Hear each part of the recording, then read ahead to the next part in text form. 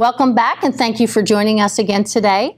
Uh, we're working on the sixth of our seven part series of revenue cycle, and today's topic is complexities of the revenue cycle charge capture process. Basically, when I think of the revenue cycle charge capture process, I try to divide it into three specific uh, components or contributing factors, if you will. And those really center around people, process, and technology. Uh, those of us in supply chain and revenue cycle and even pharmacy probably focus on these three components in all of our daily activities. So I'm going to kind of highlight the um, charge capture process in these three factors today. Well, we'll start with people what do the people do in the revenue cycle or charge capture process? You've heard me talk a lot about the process. Well, let's talk about what actually is occurring from the resource perspective. So, your folks at the front lines are scheduling, they're coding, they're putting your medical records together, they're doing your collections. Um, they're your dedicated resources in there day in and day out trying to make sure that all the information for charge capture is being assembled. Um, they're the people who really are designated uh, to enter the appropriate charges when a service or a product is, is being provided to your patients. So you need to make sure, again, I'm going to stress the education and training component to support best practice. The people at the front lines need to know what the expectations are. Um, that process that we talked about for new additions or changes or deletions, whether it be to your charge capture process or even, you know, your new item adds for your for your item master. You want to make sure that this process is being adhered to and it was communicated to the right people who are responsible for doing the task. Um, we have lots of people contributing, uh, whether it be your patient access people doing the scheduling or whether it being your medical records people doing the documentation.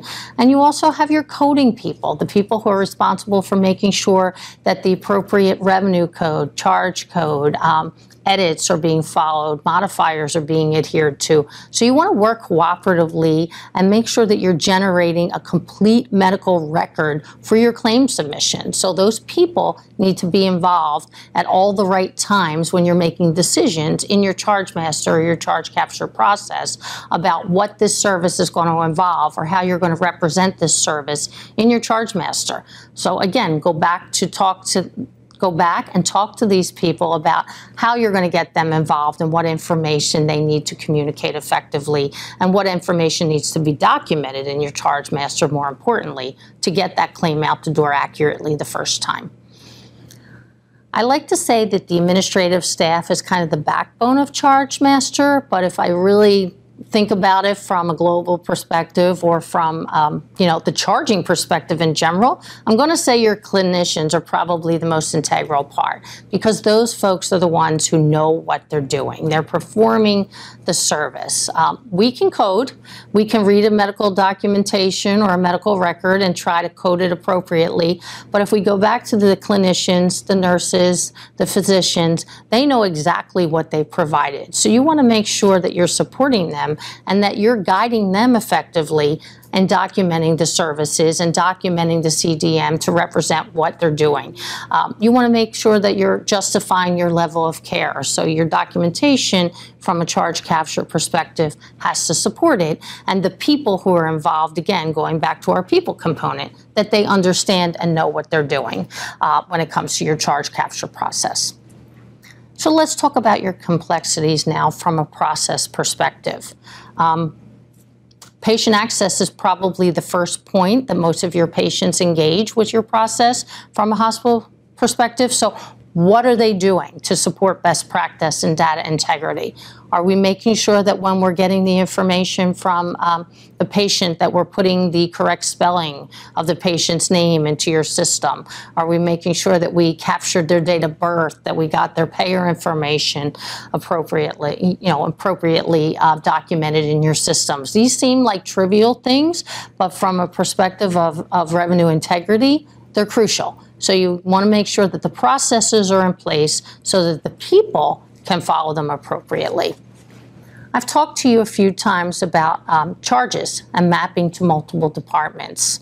Um, we need to demand that that process is synchronized. If you have a situation in your organization where the item master and the charge master have a disconnect or not synchronized, uh, you're going to have a revenue integrity issue. So you want to make sure that when you're doing your mapping, that you're supporting it as um, effectively as you can so that that information represented in the charge master matches the information in the item master. I can't stress that enough.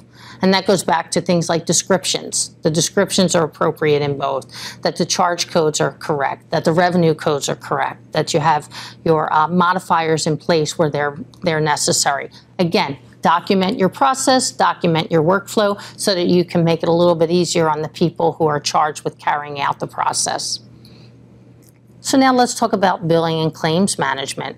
Documentation has to be complete. There is no ifs, ands, or buts about it. If you don't have the complete documentation in place, you can support whatever claims you want, but you're not going to get reimbursed for it. So you want to make sure that the claims are correct, that they passed all through your payer edits, your user-defined edits, and that once they've you know gone out onto the EDI or the claim submission form that they're accurate. So again, the process has to start at the beginning, has to be documented, and has to be complete in order to support the back end that we've talked about in our previous uh, sessions of getting in the reimbursement that's so crucial from a hospital financial perspective.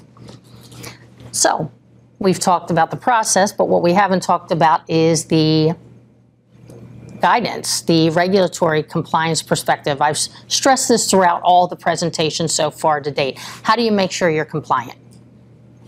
Well, first you have to document the information that you've been given. So going back to your people, making sure that the people have been informed and informed appropriately if there have been updates or changes. And then you want to make sure that your process is in place to support that. If you have a dated process, it's not going to do you any good when it comes time to submit your claim or when it comes time for reimbursement. So make sure that you've capitalized on that and that you have everything in place to support your compliance as well as your reimbursement. We haven't talked a lot uh, throughout the presentations about the contract component or the management or analysis of your contracts. So I want to get a little bit into that because that is part of the process of charge integrity or revenue integrity.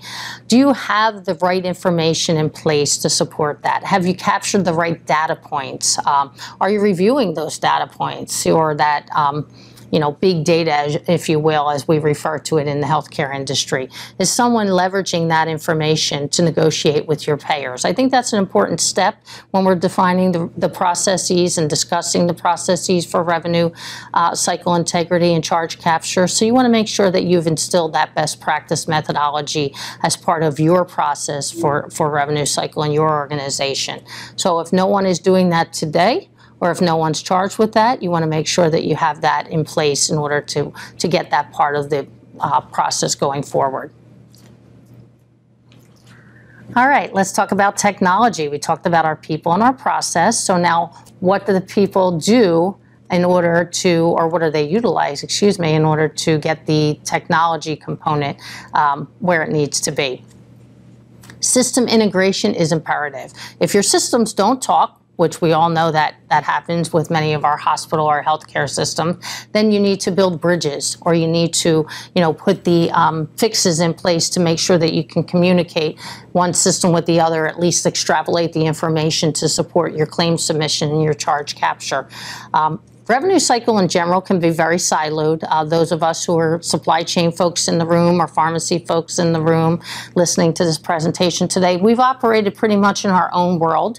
But now today in this environment with you know EMR, EHR, the interoperability component, we need to make sure that we've communicated and that we've helped our, our systems integrate in whatever way possible within your organization. Um, so whether that is investing in a new EMR or EHR, whether that's just making sure that you've you've built those bridges or the technology component to support that so that you don't have any lost revenue. And the claim submission as part of the technology component. The systems are siloed, so how do you get the information to transfer appropriately? Well, that's something that you need to kind of work out as far as your process flow. So you have to get the right people in place, you have to discuss the process flow, and you have to discuss what aspects need to flow into the, the technology component that you've deemed appropriate for this, and you need to make sure that, that you've tested it. I don't know how many times I've, I've worked on a project where everyone's put the pieces of the puzzle together, but no one's tested it to make sure that the outcome is correct. So you want to test your process um, once you define what it's going to be and make sure that what you uh, wanted out of your technology or out of that bridge that you built, et cetera, is actually what is coming out of it. What if you don't have the capabilities? What if your system is limited? How are you going to address that from a complexity standpoint? Um, be sure you, you understand what really is occurring with the data integration. As I stressed in my previous uh, statement about making sure that the um, you know the silos are broken down that you're communicating the information appropriately you want to make sure that the information that you're looking at is accurate or is or is what you think it is um, sometimes when you're dealing with technology limitations or, or things that you know you're having to adjust or kind of bring together on its own that sometimes a data element may get misconstrued or put in the wrong place. Um, you know don't think you know the answer. Make sure you check and double check and then you can put the process into into effect to make sure that you get what you need out of the technology that you're utilizing and the data that you're referring to. Um, variations um, can equate to very different scenarios. And that leads to charge capture, missed revenue opportunities, and overall, it, it could lead you to some compliance or some regulatory concerns. So you want to make sure when you're addressing your technology challenges that you are looking at the final outcome component. And now what you'll see here are some lessons learned from the field. I put a few different um, common risk factors together for you on the slide. Um, going to talk about what the results are, what the controls are. I'm not going to talk about all of them today, but just to kind of give you a few scenarios that we've addressed throughout our presentation so far to date. CDM is missing your services. If that's a common risk factor we see all across the board. What's the result? The result is your clinical transaction is never built. What do you do to fix that? You want to put a control in place, a best practice policy for charge capture, as we've discussed. Um, incorrect unit of measures. We haven't talked too much about that. We've mentioned it in passing. But what does that do if you have an incorrect unit of measure or a disparity between the unit of measure in your item master as opposed to your charge master? Well, it impacts your transactions using incorrect dosages.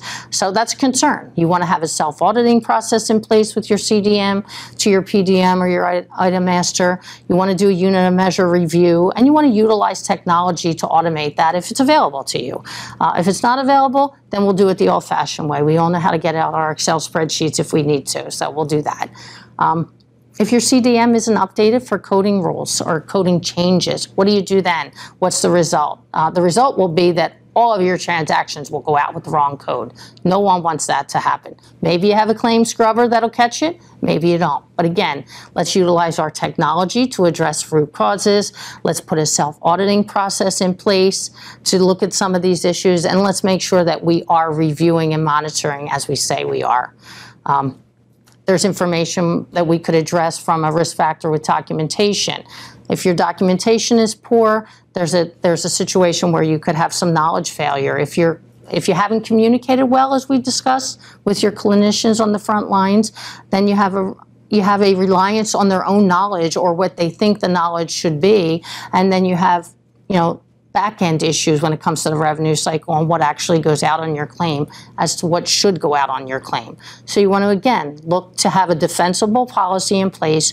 You want to document according to the appropriate edits and guidelines and regulatory and compliance um, mandates, and you want to get that into effect. I could go on all day. I could discuss probably 20 more common risk factors. Um, but we'll end here with maybe um, your clinical department disengaging, and that'll be the last one we'll discuss today. What happens if you lose your clinical department along the way? As we discussed in our previous presentations many times, they're at the front lines. They know what they're doing. If they lose track or if they're you know at risk to pick the wrong charge or the wrong you know code if that may be the case well then you have you have increases in errors and you also have um, concerns with staff turnover. If your staff is changing or if your staff gets discouraged because the information is available to them, then the wrong information goes out on your claims, your interdepartmental communication methodology broke down, and you're back where you started. So you want to, again, like I said, make sure that you're you're putting all of these uh, tips, tricks, methodologies that we've discussed throughout the presentations into effect, and then you can address these common risk factors with some, some real controls and some real positive opportunity. All right, I want to thank you for your time today for the uh, presentation. I want to hope you'll stay tuned for the common mistakes and solutions in charge capture that's yet to come. That'll be the final in our seven-part presentation, so hope to see you there.